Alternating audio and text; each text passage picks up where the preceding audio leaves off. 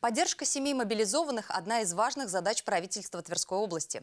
Тем, кто встал на защиту Родины, помимо федеральных выплат, полагается и региональная в размере 150 тысяч рублей. Об этом заявил глава региона Игорь Руденев в прямом эфире телеканала «Россия-24» на минувшей неделе. Подробнее в следующем материале. Тем, кто идет защищать родину добровольцам или в рамках частичной мобилизации в регионе оказывается необходимая помощь. Правительством области дополнительно закуплены необходимые вещи и предметы для мобилизованных. Также порядка 10 компаний в сжатые сроки перестроились на выпуск экипировки и обуви для военных. Кроме того, защитников родины в Тверской области поддерживают теперь и финансово.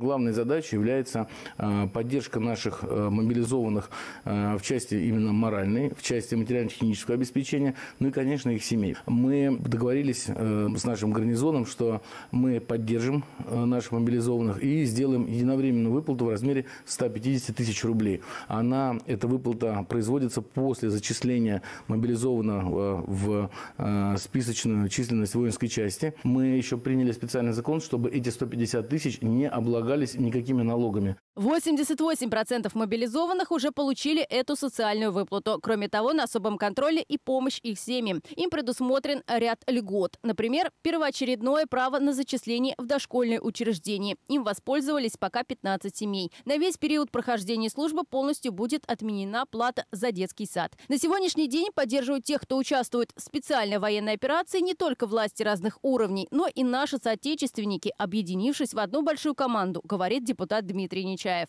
Сейчас вот созданы группы такие в социальных сетях, а, где тысячи и тысячи людей беспрерывно занимаются сбором помощи. Это и финансовые средства, продукты, и какие-то шерстяные изделия теплые. Люди заняты делом. И все депутатское объединение тоже собрали достаточно серьезные материальные средства для того, чтобы помочь нашим, в том числе и мобилизованным. А нашим ребятам, а, которые сейчас на фронте, им, конечно, важны не только вот эти вот физические, так сказать, помощь, но и очень важна моральная поддержка, знать, что страна с ними, так Тверская область стала примером того, как в тылу вместе куется победа. Кстати, по поручению президента совместно с главами других регионов будет обобщен опыт Тверской области других субъектов страны по поддержке мобилизованных добровольцев и их семей.